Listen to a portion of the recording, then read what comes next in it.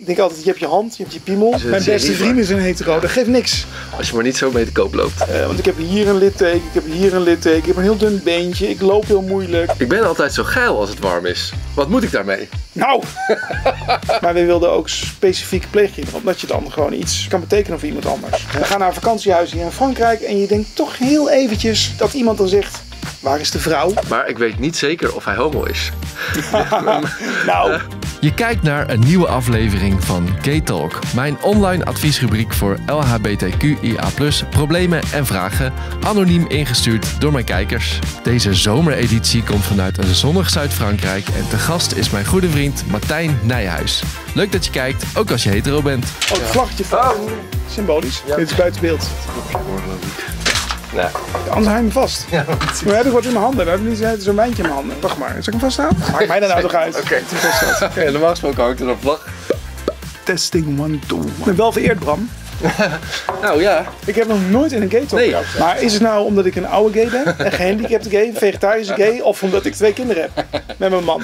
leuk dat je kijkt naar een speciale vakantieeditie van, eh van Gay Talk. Naast mij zit special guest Martijn. Martijn is nieuwslezer bij de NOS voor Radio 2. Ja, Ook vlogger en eh, vader, pleegvader. ja. Dat vind ik eigenlijk wel mijn belangrijkste baan. Ja. Het is een beetje sentimenteel, maar dat vind ik echt wel. Mooi. Kan ook door de wijn komen.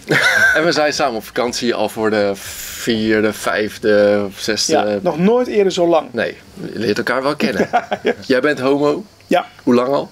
eh, dat ik het weet sinds mijn tiende, denk ik. Dat is wel echt vroeg. Voordat ik iets met mijn huidige man, die ook Bram heet, dat is ingewikkeld, eh, heb ik nog iets met een meisje gehad. En dat was eigenlijk ook best wel leuk. Maar ik vind mannen, ja, ik heb, eh, je hebt mensen die vinden mannen aantrekkelijk, maar die willen een relatie met een vrouw. Ja. Maar ik vind vrouwen wel aantrekkelijk, maar ik, vind, ik snap ze niet zo goed. Dus ik vind mannen eh, zijn leuk voor een relatie. Ja, één bent getrouwd, twee pleegkinderen. Als je dat twee jaar geleden zou zeggen, of drie jaar geleden, Ja. van je bent getrouwd en je Ja. hebt ik denk wat? Eigenlijk leef je een beetje een hetero leven, Ja, zou je kunnen zeggen. Ja. Was dat, wel- had je dat altijd zo, dat plaatje altijd zo in je hoofd? Nou, ik wilde wel kinderen. Nee, maar ik had, ik, ik had niet gedacht dat het zo zou gaan eigenlijk. Dus, eh, maar het is, heel, het is echt een aanrader. Het is echt heel erg leuk. Mensen vragen natuurlijk altijd ook aan mij van, oh wil je kinderen, wil je kinderen? En ik denk het eigenlijk niet. Maar dan denk ik aan jullie, het kan ook nog. Want ik ben nu op, op een leeftijd dat je volgens mij niet meer mag adopteren of Nee, zo. Je bent veel te oud. Ja, ik ben te oud om te adopteren. Ja, want die, die ehm, eh, procedure duurt meer dan 10 jaar. Ja. Dus dan ben jij oud. Ja. Dus, eh, dus dat kan niet. Ja, maar dan denken jullie, denk, ik, oh, dat kan ook nog Je kan gebeuren. gewoon laat instappen. Gewoon de poepluiers overslaan en dan... eh Ja. Wij wilden niet zeg maar zozeer zelf kinderen, want dan kan, je had je zelf kinderen ergens kunnen maken.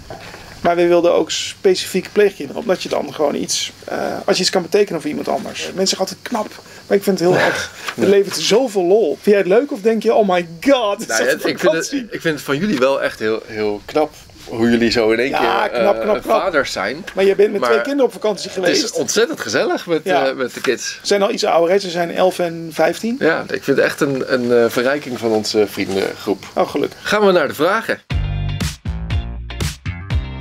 De eerste komt van een eh, meisje van 14 en ze is lesbisch. En ze schrijft: Ik ga na deze zomer naar een nieuwe school.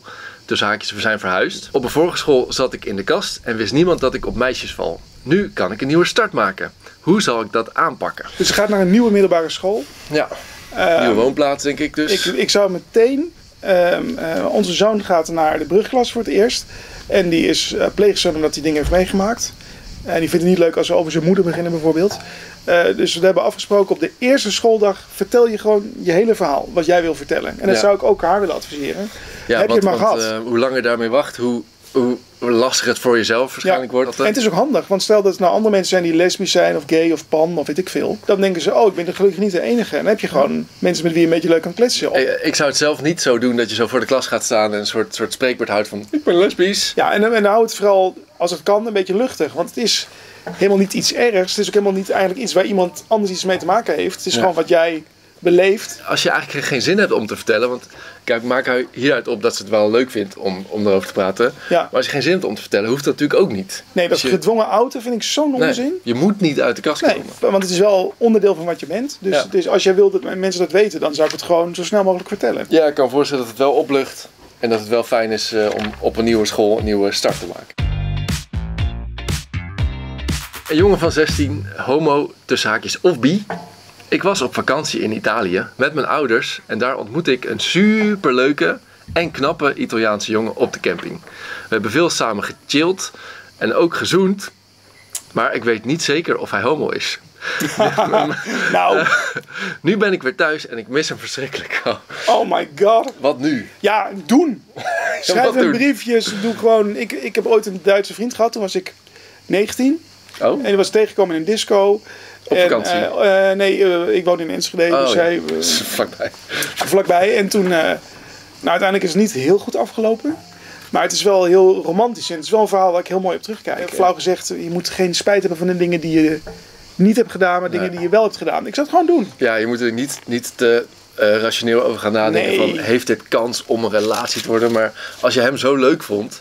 En ik denk inderdaad, als je met hem hebt gezoend, denk ik dat, dat het misschien wel wederzijds was. En misschien wist die jongen helemaal niet dat hij gay is. Heb je hem Ja. gay gemaakt? Was hij gewoon heel erg...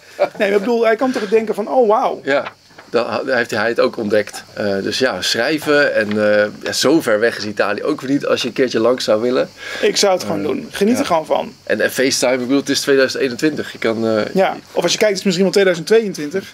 ben je een hologram. Ik zou het gewoon doen. ja, heel leuk, heel romantisch klinkt. het. Sowieso iets wat ik je... zou niet pragmatisch denken, oh niet doen. Gewoon Nee. ga voor de liefde. Je wil dit gewoon meemaken. Ja. Een man van 38, homo, schrijft... Ik was deze zomer in een hotel waar ze nogal raar opkeken van het feit dat ik met een man in een kamer met een tweepersoonsbed sliep. Ik stond met mijn mond vol tanden toen ze maar bleven aanbieden een kamer met twee separate beds te geven. ja. Wat zeggen jullie in zo'n situatie? Heb je wel eens meegemaakt? Ja, ja, ja. eh, een paar keer. Eh, maar in Suriname was het het ergst. Toen was ik met mijn eh, toenmalige schoonfamilie en mijn vriend dus. Toenmalige vriend. En er was een gids, die nam ons mee de jungle in. Ja, die was letterlijk opgegroeid in de jungle. Dus ik kon hem ook niet echt kwalijk nemen dat het een beetje nieuw voor hem was. Maar hij bleef maar iedere keer zeggen van nou, de broer van, van Jesse kreeg met zijn vriendin de mooie romantische kamer met het mooie uitzicht. En wij kregen dan de brothers. Zo kregen een soort, soort hut met twee bedden. En iedere keer bleef ik zeggen, no, we're a couple, uh, we're a couple. Maar dat, dat kwam er gewoon niet in. En dat, ja, op een gegeven moment werd het wel een beetje irritant. Want je, je voelt gewoon, oh, hij, hij wil het eigenlijk niet weten. Maar het is goed dat je het zegt. Ik denk dat dat een goede tip is. Ja, nou, de Eh, eerste paar keer heb ik het laten gaan. Maar zou jij het eh, zeggen? Ik heb in het begin, eh, toen ik nog wat jonger was, heb ik, dacht ik, nou laat maar gaan. Weet je. Ehm, ik ken deze mensen niet, hoef het ook niet te weten. Ja, dan moet je het gaan uitleggen. Moet je ja. het gaan uitleggen. Ja. Weet je, als ik mijn schoenen naar de schoenmaker breng en die zegt: Oh, je broer heeft het al gebracht, dan denk ik: Ga ik dit nou aan jou uitleggen? Nee. Maar eh, bij een hotel zeg ik nu gewoon principieel wel: Oh, nee, jullie hebben een klein foutje gemaakt, dat geeft niks, maar wij horen bij elkaar. Dus eh, onze Ja. kinderen hebben een kamer en wij hebben een kamer. En willen de bedden graag aan elkaar. Ja, dus, dus er eigenlijk over, over het ongemak een beetje heen stappen en maar gewoon uitleggen. Ja. eh, want ik kan me ook voorstellen dat je misschien geïriteerd wordt of een beetje boos wordt van, van Ja, want uiteindelijk doen mensen alsof je niet bestaat. Ja. Dat vind ik wel erg. Ik denk dat het een goede stap is. Gewoon zeggen: Oh, ze geef niet, jullie hebben een foutje gemaakt. Maar Ja, ik had nog wel een tip. Ik heb dus één keer op Ter Schelling een hele vervelende ervaring gehad met een, eh, met een hotel of een soort eh jeugdherbergachtig iets. Die gewoon ja, echt homofobe dingen naar mij en mijn toenmalig vriendje riepen. Eh, het is wel veel gehad, hè, eigenlijk. ja, en toen sindsdien zoek ik iedere keer op of een, of een hotel of een restaurant of wat dan ook eh, gay-friendly is. Ja. Staat op Google Maps volgens mij al bij. Dus je hoeft niet altijd op de barricade te gaan staan. Dat is ook wel een goede tip. Ja, ja dan weet je het gewoon. Oké, hier is het in ieder geval oké. En ik bedoel, het is makkelijk gezegd, maar stel dat je nou, je bent moe, je hebt een lange reis gehad. In ons geval twee jengelende kinderen op de achterbank. Dan kom je aan, dan verwacht je niet dat iemand zoiets zegt. Dus dan wil je niet meteen Nee. de barricade op. Dus Nee. als je dan zegt, laat maar gaan, dan is dat ook goed. Deze is echt eh, speciaal voor jou, denk ik ook. Eh, het is een man van 24, hij is homo. Hij schrijft: Ik heb een handicap. Tussen haakjes, ik loop een beetje zoals Martijn, maar dan met een stok of soms een kruk. Ik vind dat sommige kleding mij totaal niet staat. In de zomer durf ik bijvoorbeeld geen korte broeken aan, omdat mijn ene been veel dunner en krommer is dan het andere. Hebben jullie tips? Hij zegt niet precies bij wat, wat, wat maar iets. Nou, misschien ja. handig om te weten, ik heb Ja. ook een handicap. Want ik heb hetzelfde aandoening als Lucille Werner van de lingelballetjes.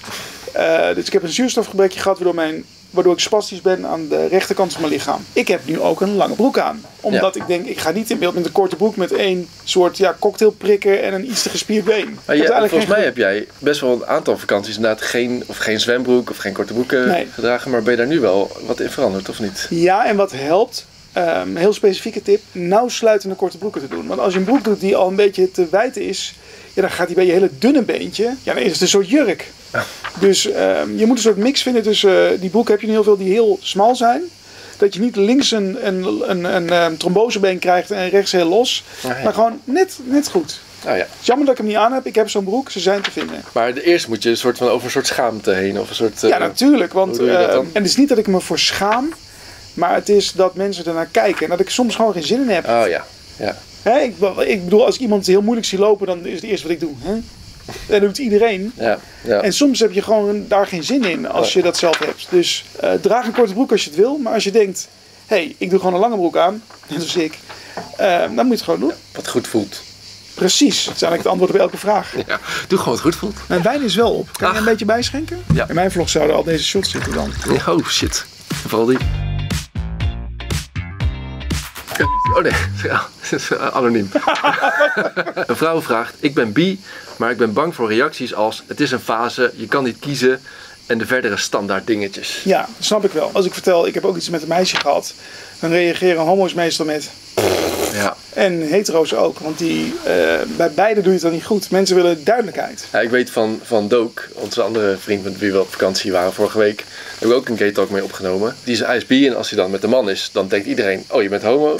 Als hij met een vrouw is, dan, dan is hij weer helemaal hetero voor, Ja. voor de buitenwereld. Dus dat, er- dat, dat er best wel raar naar gekeken wordt. Komt natuurlijk doordat eh, als je homo bent en je wil even testen of mensen er goed op reageren. Dan zeg je gewoon, ja ik ben bi.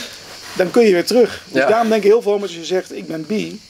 Van Ja. oh ja joh, die stiekem gewoon homo. Maar Ja. dat is natuurlijk heel ouderwets. Want ik ken ook mensen die begonnen als eh, lesbisch, dachten ze. En eindigden met een man. Ja, En heel gelukkig zijn. ja want Dus- zo wat als het een fase is ook. ja, wat is daar mis mee? Als het maar dat- goed voelt. Ja, doe het goed voelt.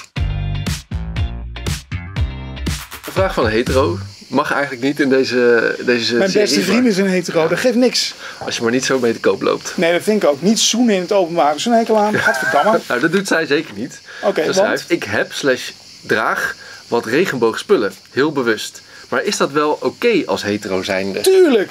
Ja, leuk. Goed. Dat is hartstikke leuk. Ja, Nee, dat vind ik echt... eh daar moet je niet druk om maken. Hartstikke leuk. dan ben je een ally, heet dat. Precies. En sommige mensen vinden zelfs dat je dan in de afkorting thuis hoort. Tuurlijk, je bent gewoon een bondgenoot. Ik vind het heel Ja. leuk om te zien als iemand loopt dat ik denk, nou, ehm, die keurt mij niet af. Want dat is toch wel vaak zo.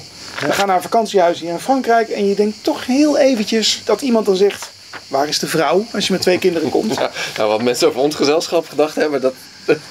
maar het is, ik vind het ook heel fijn om te zien als mijn hetero vrienden iets op Instagram zetten of op Twitter zetten. Ja. Wat, wat over ons gaat. Denk ik, oh ja, fijn dat je, dat je Ja. je een steentje kan wel verkeerd opgepakt worden, want ik heb op eh, TikTok had ik een regenboogje gezet. En toen had iemand gezegd, hoe ben je ook al zo woke?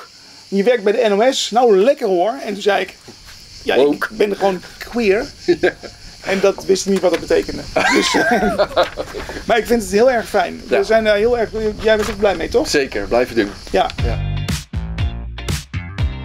Ik woon in een dorp met een heel leuk buitenzwembad. Waar ik vroeger, toen ik nog een jongetje was, vaak heen ging. Nu vragen mijn vrienden me wel eens mee, maar ik durf niet, want ik heb nog, tussen haakjes, geen echte borsten en een piemel. Maar die kan ik wel redelijk wegtoveren in mijn badpak. Mijn vrienden weten dat ik trans ben en zeggen dat ze voor me op zullen komen als er rare reacties zouden komen. Wat zal ik doen? Toch gewoon gaan? ja, maar ik denk wel, dat is net als met als je het zwembad ingaat. Van als je er eenmaal doorheen bent. Oh ja. Ja. Eh, dat, dat heb ik ook. Ik bedoel, Ja. eh, er zijn heel veel vakanties dat ik niet in het zwembad ben geweest waar jullie bij waren. Ja. Eh, want ik heb hier een litteken, ik heb hier een litteken, ik heb een heel dun beentje, ik loop heel moeilijk. Ik heb allemaal zware littekens. Ja, je zou het een beetje kunnen opbouwen of zo. Dat je eerst misschien met een handdoek een beetje eromheen, gewoon een beetje kijken hoe het, hoe het is daar. Dat heb ik dus gedaan. Ja. Dus met een handdoek en dan met een Ja. shirt. Dat je even zo met je voeten zo la la la la la. Het is wel heel lief dat, dat eh, de vrienden dus zeggen, wij komen voor je op. Maar uiteindelijk ben ja, als er allemaal blikken komen of, of vervelende reacties, ben jij toch degene die ermee zit, Ja. denk ik. Wij kunnen eigenlijk geven nou zeg maar een soort Ja, advies waar we eigenlijk geen advies over Nee. geven. Maar ik denk wel, eh, wat bij mij helpt, is dat je tegen iemand zegt. Dus dat je zegt, ik vind het best wel spannend om naar het zwembad te gaan. Dus het kan zijn dat ik even dan een handdoek om doe. En het is fijn dat je even voor me komt zitten als een foto maken of eh, zoiets. maar het is inderdaad waar dat wij misschien niet de uitgelezen persoon zijn om meer over te zeggen. Hopelijk kun je er toch iets mee. De laatste vraag. Nu al? Ja. Ik heb er wijn nog niet eens op. Wacht even. Ja, dit is wel een hele lastige. Een man van 21, homo, vraagt: Ik ben altijd zo geil als het warm is. Wat moet ik daarmee? Nou, ben blij. Ik herken het wel een beetje. Ik heb het ook een beetje Ja, op de je bent al be- nu nog steeds? Ja, ongelooflijk. Oké, dit was de Gay Talk tot ziens. Nee, daar kan je toch heel veel aan doen? Help yourself. En een Ja, vriend toch? van mij zei altijd, eh, ik zie Grindr als een soort thuisbezorgd voor seks. Nou, Of als je denkt, dat is meer mijn leeftijd, maar je denkt, wat een gedoe. Ik denk altijd, je hebt je hand, je hebt je piemel. help yourself. Ja, Dat is de mooiste uitvinding die er is. Ja, een beetje me- plat om daarmee af te sluiten misschien. hoort er ook gewoon bij, bij het leven. Ik zou niet allerlei manieren verzinnen om daar nou vanaf te komen. Wees blij dat het er is. Geniet ervan. Zolang het kan. Voor je twee kinderen. Ja, het is bijna donker, dus we gaan, eh, we gaan stoppen. Maar ik vond het heel leuk om het eh Martijn deze gate ook op te nemen. Ja, ik ben ook heel blij dat we gewoon... We kennen elkaar al vijf jaar, nu eindelijk een keertje, maar goed. Laten we nog een keer een echte doen. Ja, maar dan ook all the way. All the way. Ja, dan ga ik je ook vragen stellen. Oh. Eh, Als je nog meer vragen hebt of zelf advies hebt. Vooral over dat meisje en het zwembad. Want daar hadden Ja. wij niet goed advies over. Nee, misschien dat er inderdaad. Ik weet dat er mensen kijken die daar betere dingen over kunnen zeggen. Ja. Dankjewel. Kijk maar even. Doei.